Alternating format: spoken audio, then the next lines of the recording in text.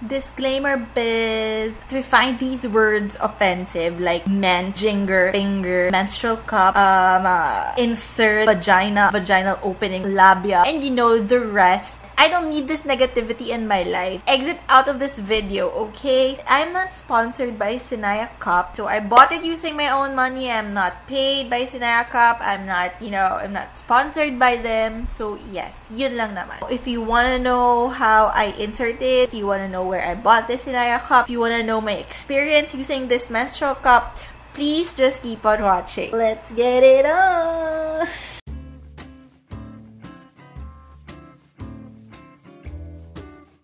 Hi, Mabalines! It's your pambansang at your Rachel. Welcome back to my channel. After how many weeks? Wait. Come here, come here. No. Come here. Ayan. So, after a few weeks of not having been able to vlog, I'm here. I'm sorry if ngayon lang medyo nagkatamaran. Plus, we had to bring Dugdug to the vet. Medyo nagkasakit si Dugdug, so we devoted our time to Dugdug. Ito na, let's get it on. I'm super excited for today's video because this is my first time to try a menstrual cup.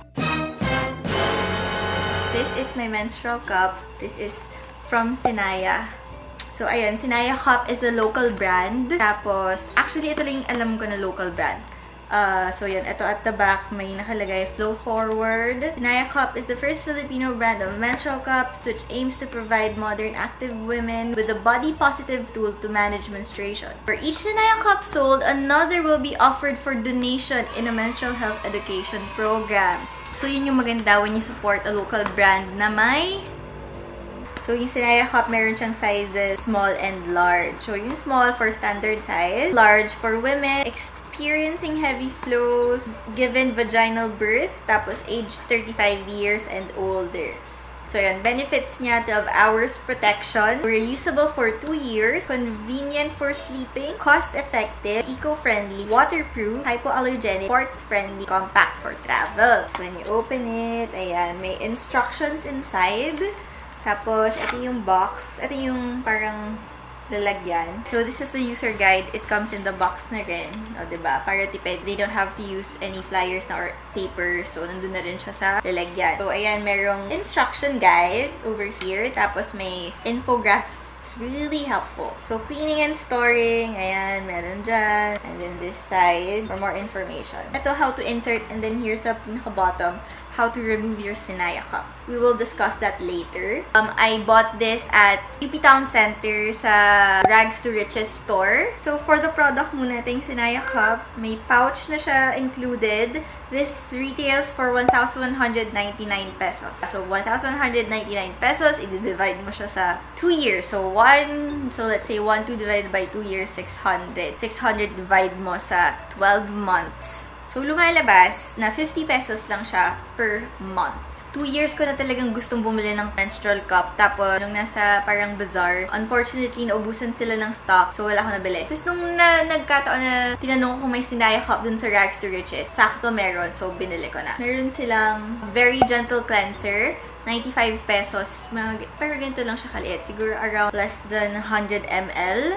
Tapos, meron din siyang holder. Yun, hindi ko alam kasi wala doon. So, hindi ako nakabili. Here is the menstrual cup. Here, meron siyang nakalagay na Sinaya cup. Tapos, may mga 7.5 ml and 15 ml. So, originally, meron, ito medyo mahaba pa to. Namit ko to, I found out na low yung cervix ko kasi nung nalagay ko na siya sa loob, nafe-feel ko pa rin yung stem sa may labia ko. So, medyo uncomfortable siya. So, kinot ko muna yung dalawa. Ganyan siya kahaba.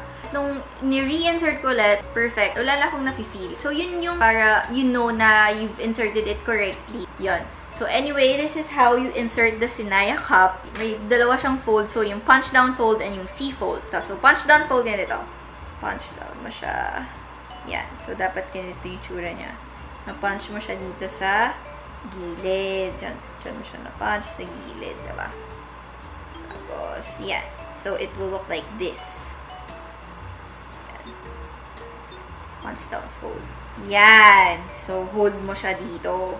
Perfect sa akin itong punch down fold. So, this is your vagina, for example. So, yun, ilalagay mo siya sa loob. Kasi, wiggle-wiggle ko pa siya.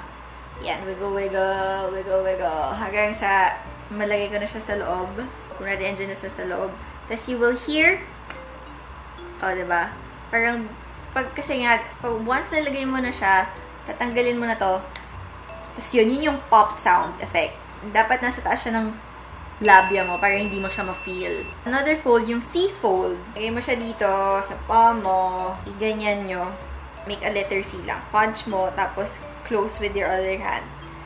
Yan. So, parang ganyan. Kasi itong C, parang medyo malaki pa siya. If virgin ka or tight yung vaginal opening mo, medyo nahirapan ako dito. So, yun. Trial and error talaga kung what really works for your vagina. Bebelins, okay. So, ito yun. So, ito yun. Tapos, ganun din ulit. Pasok nyo sa vagina nyo. Wiggle, wiggle, wiggle, wiggle, wiggle. Hanggang sa kunwari halfway na. Pat, pati yung finger siya ipapasok nyo rin. Ha? So, technically, nag-jinger kayo. So, kailangan nyo ipasok halfway and then, para may guide lang yung cup. Tapos, once you get it inside there na almost halfway, yon hintayin nyo ulit siya magpa... Maririnig yun na mafe-feel nyo na magpa-popping sound. Also, before you use this cup, it's good na sterilize mo siya. Either ibuboil mo siya for 15, 10 to 15 minutes daw. So, what you do is bring your pot to a boil. Dapat yung heavy pot na uh, malaki, na malalim na pot. Wait for it to boil and then lagay mo siya. Tapos, don't keep it unattended ha. So, dapat andun ka, twist and turn mo siya with a tong. So, ito, na-sterilize ko na siya before ko gamitin. Ginamit ko to nung, nung first day ko, mga hapon na. Eh, since meron pa naman akong leftover pagkain, natirang napkin pa from my last period, yun muna yung ginamit ko. Tapos yun, ginamit ko lang to mga hapon. Medyo may resistance siyang konti. So, ang sabi kasi doon, kapag medyo may resistance siya, mas madali siyang ilagay. Kasi nahuhold niya, kasi nga may resistance. So, nahuhold niya. Tapos, yun, madali siyang gumalaw. Eh, kapag medyo malambot, yun yung parang ang hirap daw ilagay. Experiment what works for you. So, try nyo muna, research first. So, sa akin naman, ever since kasi gusto ko na talaga itong sinaya ko. Ngayon, if nahihirapan kayo, you can use water-based na lubricant. Tapos, lagay nyo lang around. Okay, so when you put it inside, make sure na stress-free environment or um, basta hindi kayo natitense kasi when you get tense, nagko-constrict yung muscle, yung vaginal muscles nyo, diba? So, humihigpit siya.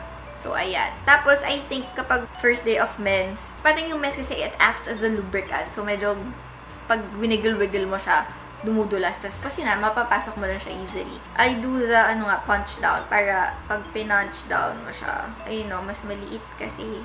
Ayaw nila ng oil, anything oil. So, wag yung may oil-based na lubricant, wag din oil-based na, na soap. So, yun. Always remember na once you're going to put it inside, dapat mag mag-breathe in, breathe out muna kayong chenes. Tapos dapat, whatever works for you. Kung gusto nyo mag-light kayo ng candle or something, breathe in, breathe out. Think of happy thoughts.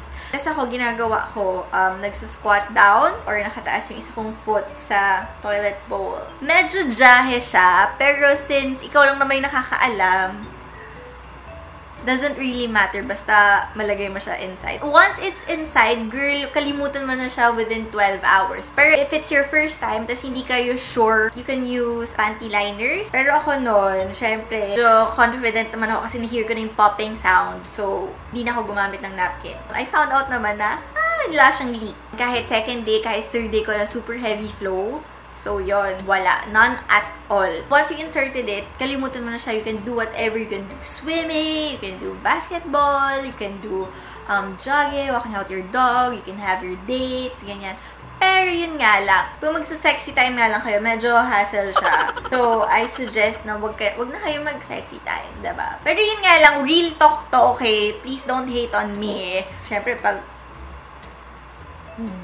let's get it on na kayo, diba? Tapos biglang, wait! hold your horses. So anyway, yun lang naman. So you can do almost anything. Tapos wala siyang leak. So love this talaga. My most dreaded part, yung pag-remove ng menstrual cup. So, what I do, yung una, as in, talagang, ah, as in, ah,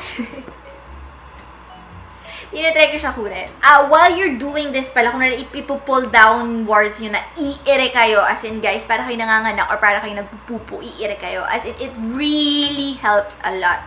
So, yung first time ko, hindi ko ako, as in, ginaganon-ganon ko na siya. As in, feeling ko, oh my goodness. Uh, sakit na. Sobrang medyo feeling ko na ano na eh, nasugatan na yung yung vaginal wall ko. Pero yun nga, sabi ng sister ko, kailangan mong umire. So, true enough, nung umire na ako, as in, parang uh, almost nandun na siya sa baba. So, yun, habang ginagawa ko, iire ka, tapos, yan, tapos yun, mabilisan. Mabilis na lang siya pag umire ka. Promise. Pag nakaupo ka na sa toilet bowl, or ako, pag nasa, pag naliligo na ako sa, sa shower room, dun ako nag-jinger. So, yan. So, halfway. Kasi, syempre, pag ginanon mo, matutulo yan, ba diba? Release the vacuum. Tapos, tapos, ayan with your, itong with your thumb and your middle finger while pressing on the, ano ah, while your index finger pressing on the menstrual cup. Wiggle, wiggle it out. Yan!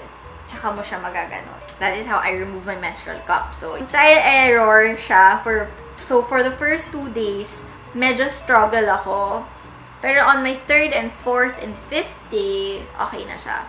Tapos nasa salon niya lahat tapos, uh, it's high time we do it since, well, so hirap-hirap na si Mother Earth. Kaya kailangan naman natin mag-help in our own little way. Frequently asked questions.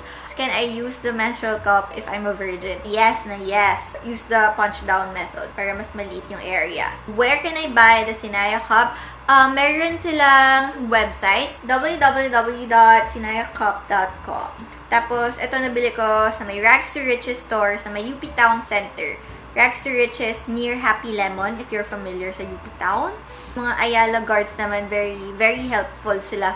Kasi alam nila halos lahat yung mga stores and yung directions. Going there, this is for 1,199 pesos. Noong una, sobrang nahirapan talaga ako na to insert it. I mean, pa-virgin, pa-V pero eventually, once you've inserted it up there, actually wala kang mafe-feel. Very freeing, very liberating. So, ayun, medyo ang saya. Unlike yung mga napkins and panty liners, every 4 hours talaga dapat pinapalitan yon para hindi ka, you know, ma-irritate. Ito, for 12 hours, as in walang itch or anything. I'm happy naman sa Sinaya Cup. Okay, so final thoughts on my purchase. I'm really happy with the product. Like, I can see myself wearing it every month. It's really cost effective. So, if you're worried na nasa loob siya ng pusay mo for 12 hours, parang it didn't cause any irritation. So, walang itching, walang irritation, walang redness. It's very life-changing. Parang ang light ng feeling ko kasi I don't have to think about tagos. This every 4 hours na magpapalit ako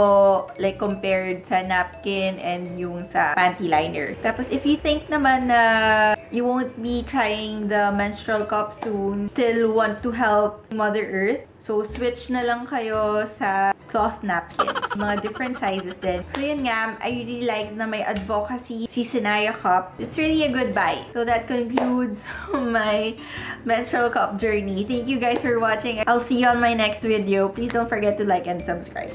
Bye!